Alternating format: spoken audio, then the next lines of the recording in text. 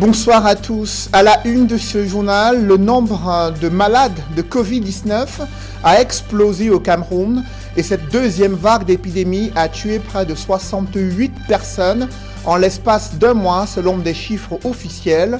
Le relâchement notoire des mesures sanitaires a engendré l'accélération de la contagion à tel point qu'un établissement scolaire public est fermé depuis une semaine à Douala pour cause de détection des cas positifs chez des élèves et enseignants, quelles mesures ont été prises pour contenir cette transmission communautaire? Quel protocole pour faire face à cette deuxième vague d'épidémie meurtrière Élément de réponse en ouverture de ce journal. Au regard de la situation euh, épidémiologique en Afrique centrale, situation d'insécurité et de crise économique, comment la CEMAC compte-t-elle s'en sortir? Le président en exercice de la CEMAC, le chef de l'État du Cameroun, a reçu en audience deux émissaires, envoyés spéciaux des présidents tchadiens et équato-guinéens. La quintessence de leurs échanges, nous en parlerons au cœur de ce journal.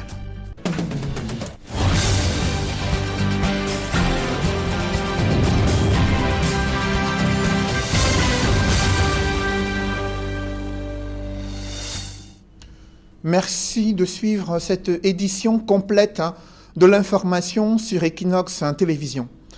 À l'heure où le Cameroun fait face à une résurgence de la pandémie de Covid-19, une école maternelle publique est fermée depuis une semaine à Douala. Les cours ont été interrompus sans explication aux parents, lesquels parents continuent de défiler devant euh, le campus scolaire afin de comprendre les raisons de cette fermeture en plein deuxième trimestre. Selon les enquêtes menées par Equinox Télévision, près de 10 enseignants et environ 9 élèves ont été euh, dépistés positifs au Covid-19. Quelles mesures ont été prises face à ce, diagnostic hein, des cas de Covid en plein milieu scolaire? Élément de réponse avec nos reporters Théo Tchunke et Cédric Ding. À son arrivée avec sa fille à l'école maternelle d'application de Bonamoussadi dans le 5e arrondissement, ce sont des grilles fermées et une cour d'école déserte qui accueille Marlène. Un spectacle auquel elle et bien d'autres parents sont confrontés depuis près d'une semaine. Moi, j'ai constaté que depuis déjà, depuis euh, la semaine, depuis lundi, cet établissement est fermé. Et le problème, c'est quoi? Le problème, c'est que je ne sais pas pourquoi ils ont fermé. Mais le problème, c'est qu'en fermant l'établissement, ils ne fait pas, ils pas fait part. On ne connaît même pas ce qui se passe. Tous les jours, je viens, je vois la barrière fermée. Tous les jours, j'appelle l'enfant le matin, j'arrive, je trouve la barrière fermée. La directrice ne nous a rien dit. Elle ne nous a rien dit, elle n'a même pas fait. Donc, je ne sais pas vraiment pourquoi le, portail est fermé chaque jour. Pourtant qu'il y a tout versé, la pension de l'enfant. Moi, je ne comprends pas. Là où le bas blesse, c'est qu'aucune information, ni écrite, encore moins verbale, n'a été donnée à Marlène et aux autres parents quant aux raisons de la fermeture de l'école, du renvoi des enfants à la maison, encore moins sur l'éventuelle réouverture au nom de cet établissement, d'où la colère et l'exaspération de ces derniers. Tout ce que moi j'attends, c'est qu'on me donne la suite. S'il faut fermer, on me rembourse. Moi, je mets mon enfant ailleurs. Et s'il faut recommencer, ils doivent informer les parents, puisqu'ils ont le contact de tous les parents. C'est pas normal que chaque jour on vient, on trouve le portail fermé, qu'on a versé toute la pension. Moi, je ne suis pas d'accord. Je, veux voir mes amis toujours au portail chaque jour. Quelles sont les raisons qui peuvent expliquer la fermeture d'une école en plein milieu de l'année scolaire? Est-il possible que cet établissement soit réouvert à temps pour permettre aux tout petits d'ici de reprendre le chemin de l'école? Autant d'interrogations autour desquelles Equinox Télévision a mené l'enquête et s'est rendu du côté de la délégation régionale de l'éducation de base. Euh, nous avons à peu près 9 cas d'enseignants euh, environ une dizaine de cas d'élèves, c'est tout à fait normal qu'en cas de découverte de la Covid dans une structure scolaire, que nous prenions les mesures adéquates. Vous convenez avec moi que la toute première mesure était de faire appel aux autorités sanitaires. On a travaillé la main dans la main.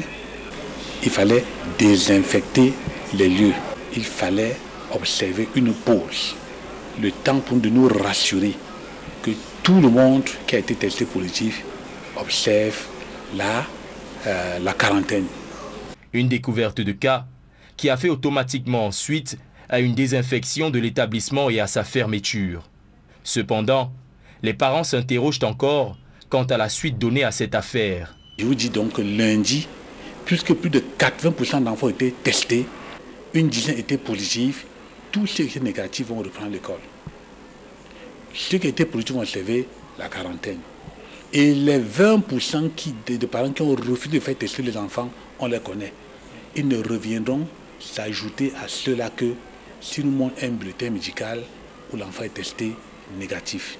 Une vague de contamination qui intervient alors qu'un relâchement des mesures barrières est observé au sein de la population et que des chiffres du ministère de la Santé publique font état d'une résurgence de la pandémie au Cameroun. Les informations sont claires. Au Cameroun, le nombre de malades de Covid-19 ne cesse d'exploser. La contagion connaît une rapide accélération. Tenez ces deux tableaux illustratifs de l'évolution de la situation épidémiologique. Le 16 janvier 2021, le ministre de la Santé publique déclare sur son compte Twitter 694 cas actifs, 107 malades hospitalisés et 455 morts.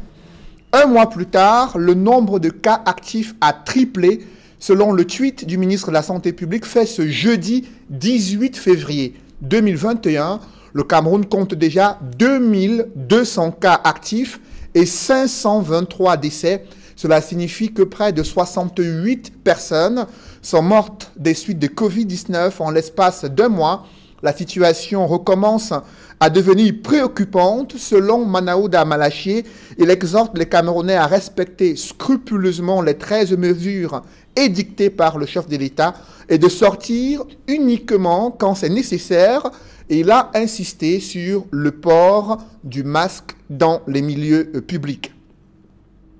Toujours dans ce chapitre, l'OMS a validé le vaccin AstraZeneca et c'est l'Organisation des Nations Unies qui appelle à l'unité pour un vaccin équitable. S'exprimant au Conseil de sécurité de l'ONU, Antonio Guterres a dénoncé les inégalités dans les multiples campagnes de vaccination menées à travers le monde. Il juge inacceptable que seuls 10 pays aient déjà reçu euh, le vaccin euh, et 130 autres sont toujours dans l'attente, délaissés dans cette course effrénée au vaccin contre la pandémie du coronavirus. On fait le point avec Nadine Yambou.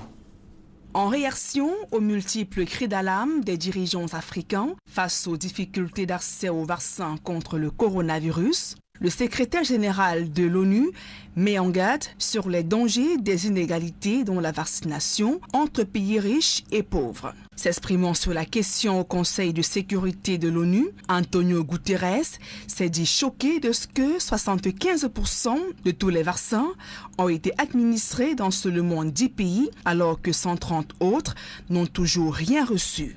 Après la validation en urgence du vaccin AstraZeneca par l'OMS, Antonio Guterres appelle les pays à soutenir le COVAX, un dispositif mis en place pour assurer un accès équitable aux vaccins et permettre une distribution des centaines de millions de doses de vaccins dans les pays en voie de développement.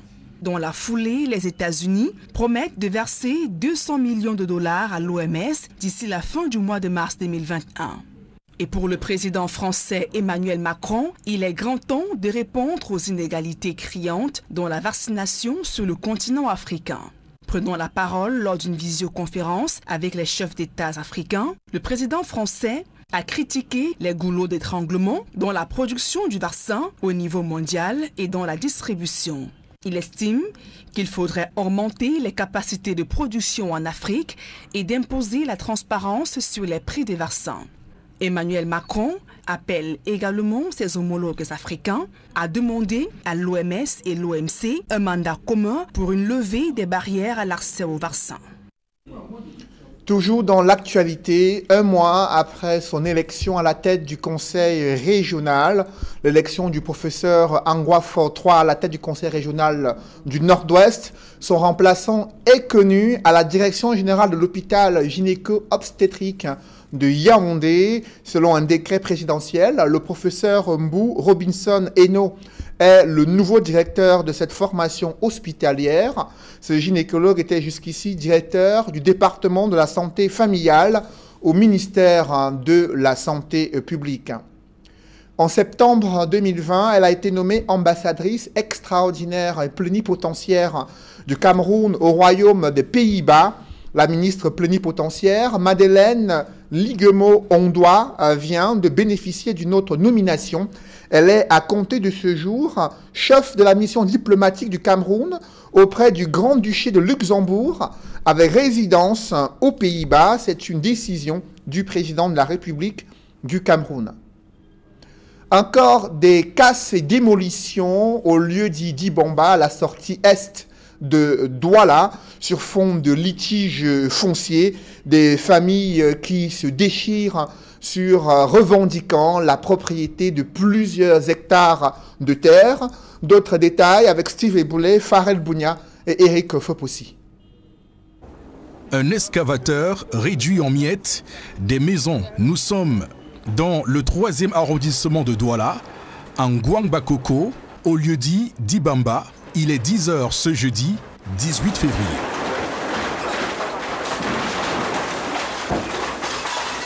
Ici, cet homme transporte difficilement deux valises, d'autres se battent comme ils peuvent pour sauver leurs effets. Une escouade de policiers armés de matraques et transportant des caisses de gaz lacrymogène veille au grain devant des populations déboussolées. Ah, mais voici de 10 ans dans le quartier, bon, formé mais non intégré, mais caché dans cette petite quartier du Bamba. Ça fait 10 ans. Je ne connais pas là où je vais dormir aujourd'hui. Ils arrivent un matin comme ça, ils commencent à casser, ils ne vous disent rien, ils ne vous disent pas que c'est pour tel ou tel, ou tel, ou tel but. Euh, subitement, les engins arrivent, la casse commence. Ceux qui veulent un peu lever la tête sont, sont bousculés, fouettés. On a, même, on, a même agressé un enfant là, je ne sais pas trop pour quelle raison. Je ne suis pas dans Bichaka Bichaka, mais ils m'ont cassé. Je suis dans la communauté Bonella. Il s'agit en effet de litiges fonciers qui opposent les communautés Bonella et Bechaka Bechaka. On dit que c'est les Bechaka Bechaka qui sont en train de casser comme vous, comme, comme vous voyez là. Et ils disent qu'ils sont en train de sortir la route. Je ne sais surtout quelle route ils sont en train de casser. Mais quand ils finissent de casser, ils, finissent de casser là où ils disaient que ça les appartient. Ils veulent maintenant, moi j'appartiens à la communauté Bonélan. Qu'est-ce qu'il y a qui viennent encore casser euh, chez, euh, chez les Bonélan Porté devant le tribunal de première instance de Ndokoti, l'affaire qui devait passer le 12 février a été renvoyée le 26 mars prochain, d'où l'incompréhension. À chaque moment, nous sommes dans la justice. Même si nous voulons présenter euh, les documents de, de, la justice, les gens nous empêchent. Et nous, euh, la fois dernière, nous sommes partis à la justice. On nous a entendus, on a renvoyé que le 26. La population s'étonne aujourd'hui qu'il y a casse. En Gouang Bakoko, la détresse est totale. Une quinzaine de maisons détruites, une cinquantaine de personnes sans abri, de petits-enfants d'une école traumatisés, les populations, face à ce qu'elles qualifient de mafia foncière, comptent se réunir vendredi 19 février pour exprimer leur colère. Dans la capitale économique du Cameroun, la Direction générale des impôts se pose en arbitre dans ce conflit entre les entreprises et certaines banques. Vous le savez, des frais de prélèvement, euh, des, le prélèvement des frais de commission en vigueur depuis quelques semaines lors du règlement de l'imposition euh, fiscale soulève des suscite des grincements de dents chez des opérateurs économiques. Les contribuables ont saisi le gouvernement pour ce qu'ils considèrent comme une arnaque de la part hein, des banques.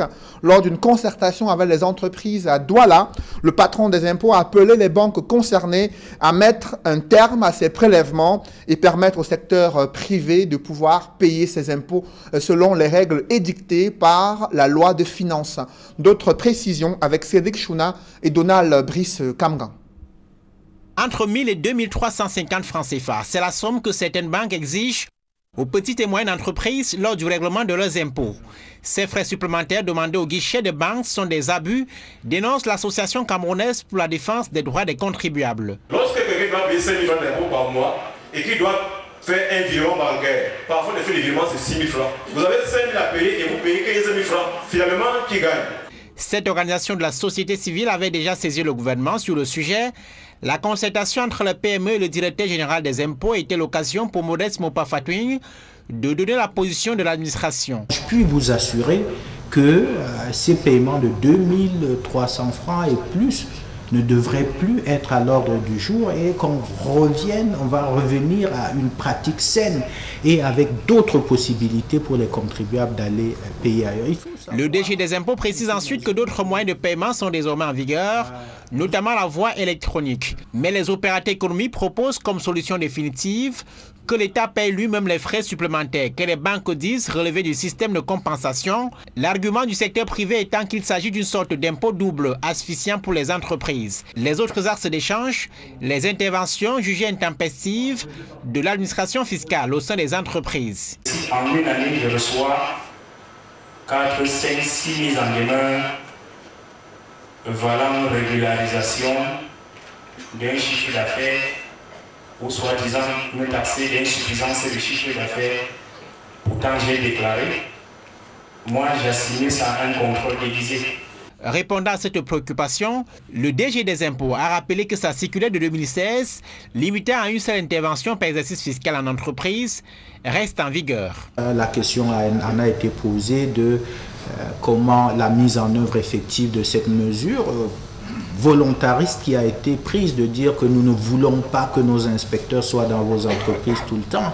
Et donc, cette vérification générale de comptabilité, nous essayons de de la contenir le maximum que nous pouvons pour éviter que vous soyez tout le temps perturbé par les entreprises. Les débats souvent très houleux ont permis à la Direction générale des impôts de faire le point sur les mesures de soutien aux entreprises et notamment les plus petites. L'une d'entre elles, c'est l'exonération d'impôts sur les cinq premières années au bénéfice des start-up dès cette année 2021. C'est le premier directeur de publication d'un quotidien, acteur de premier plan pour la lutte pour la liberté de la presse. Benjamin Zébazé a exploré de nouveaux pans de son génie créateur. Il s'est investi dans l'assemblage et la mise en place des tricycles au Cameroun. Le tout premier modèle assemblé et mis en place par Benjamin Zébazé roule depuis euh, quelques semaines dans les rues des villes de Douala, mais aussi de Tcham, dans le département de la Menoire. Il a mis sur pied ce premier modèle sur fonds propres et son ambition est de porter à une échelle industrielle ce projet de tricycle au euh, Cameroun. C'est un grand reportage signé Robert Mokobe, Théophile Tchunke et Sylvestre Hippolyte Zangaou. Hebdomadaire Ouest Littoral a certes disparu du paysage médiatique au Cameroun mais son directeur de publication Benjamin Zébazé est bel et bien présent. Absent des plateaux de débat depuis belle lurette, nous sommes allés le trouver dans les jardins de l'une de ses résidences au quartier Bonabéry, à Douala 4e. Je suis revenu dans la presse avec le journal Ouest Littoral et j'ai été suspendu tout, pratiquement chaque six mois. J'étais suspendu. Je crois qu'il faut, il faut quelquefois savoir laisser. Je crois qu'on m'a assez vu. 30 ans, c'est beaucoup. 30 ans, c'est beaucoup. Puis maintenant, quand je m'ennuie, je vais sur Facebook. Les cabourets et moi, allez, on bagarre un peu, mais toujours dans la bonne, dans la bonne humeur. Le directeur de publication du journal à succès Challenge Hebdo dans les années 90 se met donc désormais en marche du monde des médias et canalise son inspiration dans un autre domaine vers lequel son esprit l'a orienté. En tout temps, je suis tombé gravement malade.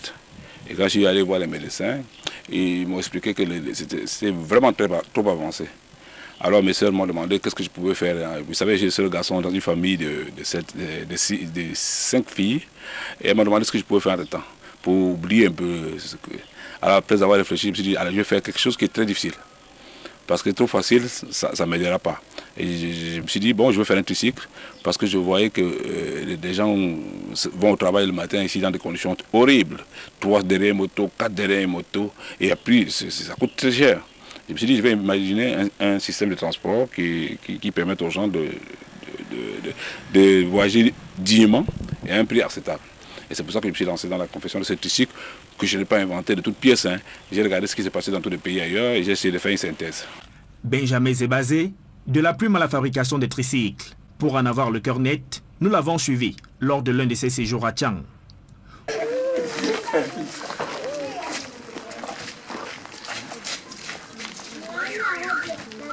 Voici donc le tricycle made by Benjamin Zébazé. L'un de ses collaborateurs nous renseigne sur quelques fonctionnalités de cet engin destiné au transport des personnes. Là, nous avons un levier de vitesse. Nous avons pris actuellement un mois pour, concevoir ces leviers. Et ça nous a pris beaucoup de temps. Ouais. Et là, c'est c'est la tige, la mallette pour faire la marche arrière. J'ai fait ça moi-même. J'ai pris mes enfants au village, un ou deux. On est venu, je dessine, ils coupent, on soude ensemble, on peint ensemble, on met le mastic ensemble. Et, j'en suis fier. Parce que j'ai mon fils qui est ingénieur mécanicien, il travaille pour Renault en France. J'aurais pu lui dire de venir faire ça. Il a les compétences supérieures aux miennes, à la mienne. Mais je n'aurais pas été autant fier. Vous voyez que vous, vous dites je suis malade, vous pouvez vous rendre compte. Parce que j'étais content. Parce qu'enfin on a réussi avec mes, enfants du village. Donc on a fait cette moto-là comme ça, en s'amusant. Ça a pris un an. Hein. Il a donc juste fallu les aider à Benjamin Zébazé pour se lancer et financer son projet sur fonds propres. Il y a des pièces que nous avons fouillées pendant 3-4 jours dans les casses. Hein. Ça, autorisé d'un gros, gros porteur qui fait Douala Yaoundé. Ça, ce couvercle-là, nous l'avons fabriqué nous-mêmes. Là, nous avons modifié tout le système de, changement d'embrayage d'une grosse moto. Les chaises, on a conçu nous-mêmes. Le pont qui a derrière là, c'est le pont d'une petite voiture. Les pneus, c'est le pneu d'une grosse voiture. Les ceintures de sécurité que vous voyez là, c'est la ceinture de sécurité d'une voiture. La bâche, c'est les bâches de camion que nous avons là-bas. Les suie-glaces là, c'est marrant parce que les suie-glaces, c'est le moteur des suie-glaces de, la voiture de ma femme. Et là, et là, le balai, c'est le balai de ma RAV4. Fier de voir ce tricycle monté par lui-même, Benjamin Zébazé compte créer une usine pour en fabriquer d'autres, en espérant que des partenaires intéressés par son projet se rapprocheront de lui car fidèle à sa logique, il ne compte nullement sur l'appui du gouvernement camerounais. Pour l'instant, ce tricycle n'a pas encore de nom de baptême, et les pièces sont assemblées à Douala et à Chang, avec des outils connus. En attendant que le projet se développe à l'échelle industrielle, le tricycle de Benjamin Zébazé est fièrement conduit par son fabricant.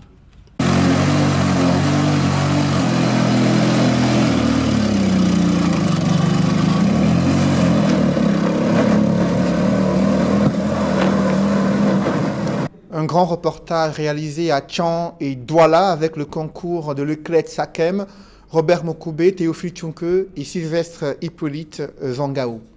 Parlons à présent de ce souhait qu'émet le gouvernement du Japon pour les populations des régions du nord-ouest et du sud-ouest du Cameroun.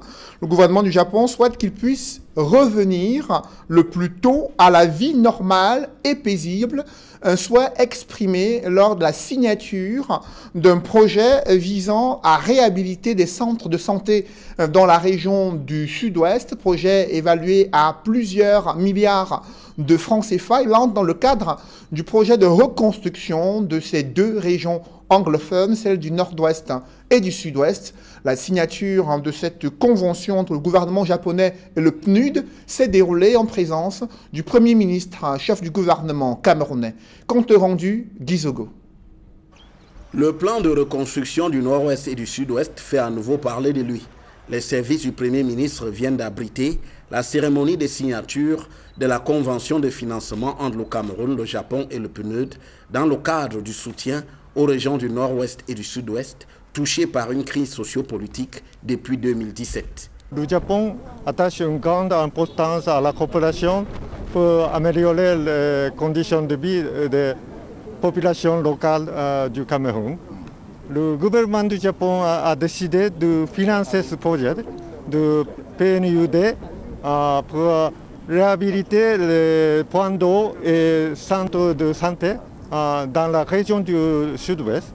Avec un financement de près d'un milliard 500 millions de francs CFA, le Japon indique qu'il va poursuivre sur cette lancée alors que le programme des Nations Unies pour le développement PNUD justifie le choix du département du FACO dans le sud-ouest pour ce premier financement.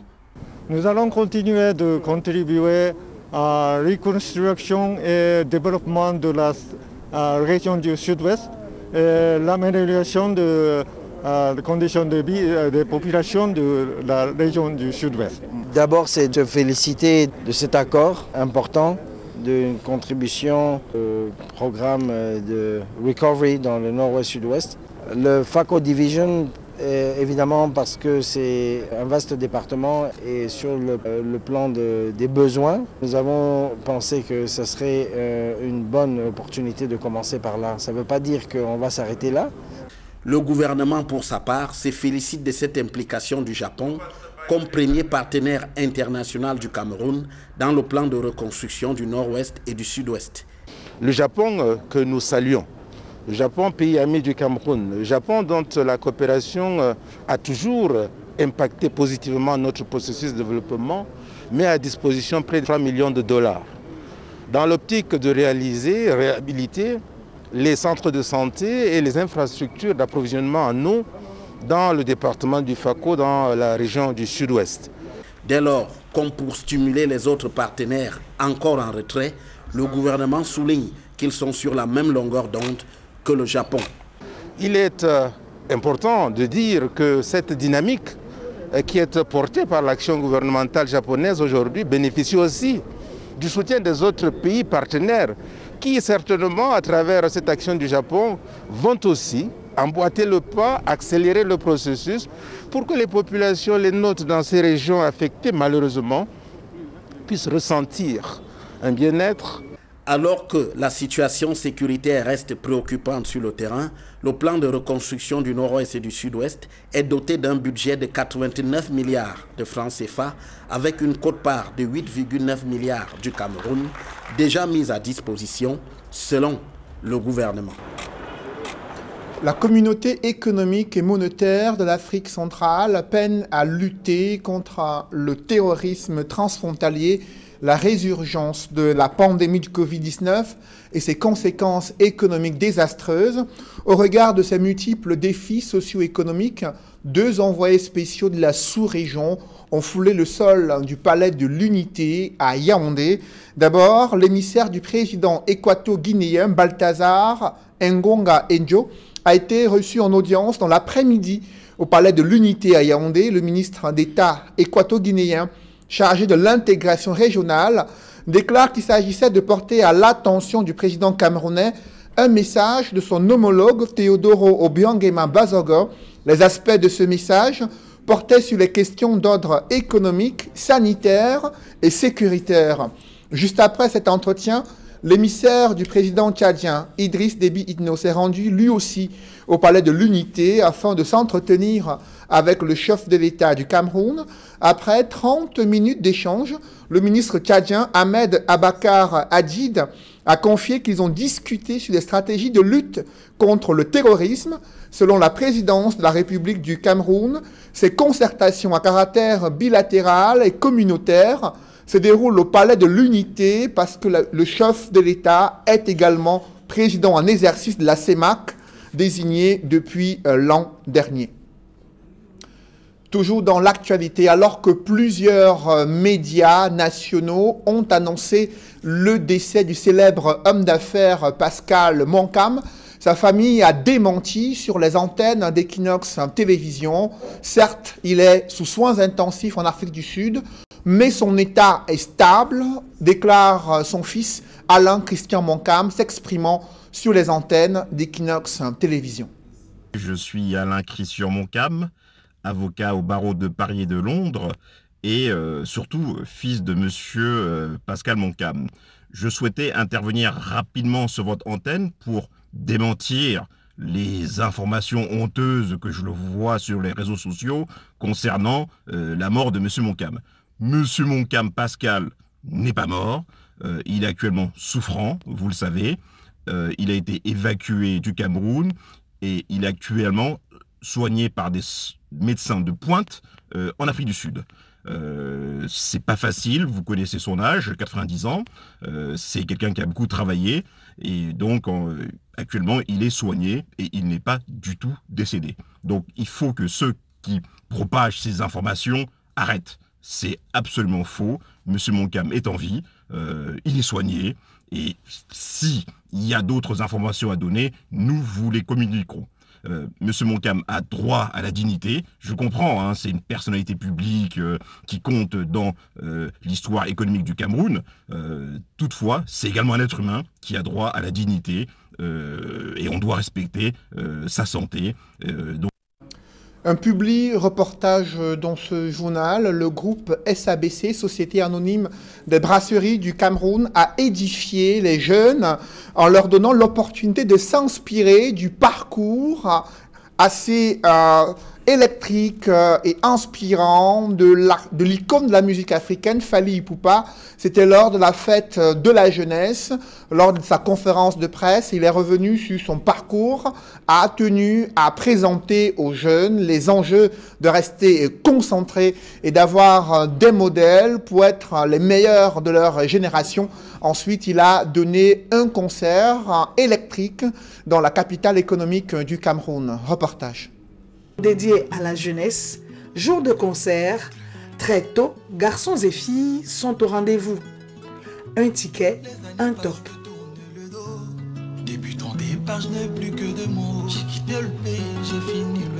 Les nombreux artistes qui ouvrent la scène savent faire monter la pression.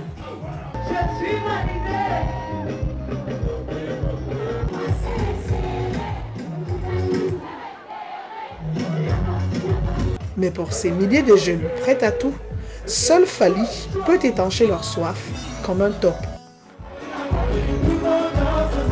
Ils espèrent beaucoup, Fali leur donne plus que ça.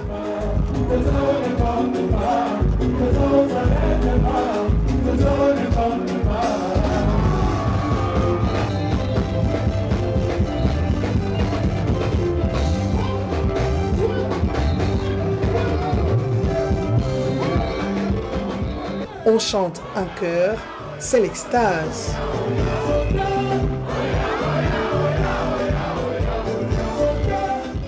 Exit l'acte de top concert avec le sourire large et les étoiles plein les yeux. On peut rêver à demain. Maintenant, rendez-vous pour le top concert de la jeunesse, acte 3, avec Top poursuit tes rêves, plus qu'un slogan, un engagement. L'idole des jeunes fait un dernier stop au siège des brasseries du Cameroun au lendemain de ce concert mémorable. Et là, c'est le personnel SABC qui en profite. Tous les membres de la Team Top sont bien récompensés au cours de cet instant selfie et dédicace. Dicap, la merveille, peut s'en aller le cœur léger. Il a bien rempli sa mission. Ainsi à cette jeunesse la force de poursuivre ses rêves, un top à la main. Ah, a tant de choses qu'on se promise, tant de choses au fond de moi. Ah. Mesdames, euh, Messieurs, c'est la fin de ce journal. Merci de l'avoir suivi. Juste après cette édition de 20h, retrouvez Serge Alain Auto et ses invités pour le débrief du journal sur le plateau d'Equinox Soir. Serge Alain. 68 morts des suites de Covid en l'espace de mois. Cela fait environ deux personnes qui décèdent chaque jour des suites de Covid-19 si l'on fait une moyenne entre le 16 janvier 2021 et le 18 février 2021. Le nombre de cas de Covid a également triplé. On est passé de 694 cas actifs à 2200 cas actifs. Et vous avez vu ce reportage dans une école primaire publique euh, fermée pour cause de détection des cas parmi des élèves et enseignants. La situation est redevenue préoccupante. Pour reprendre les mots du ministre de la Santé publique, on observe toujours une insouciance au sein de l'opinion publique nationale concernant cette deuxième vague de l'épidémie de Covid-19. C'est Alain. Voilà, madame, monsieur, c'est donc l'essentiel et qui nous soit deuxième partie. Bonne soirée à vous, Cédric. Je vous souhaite une bonne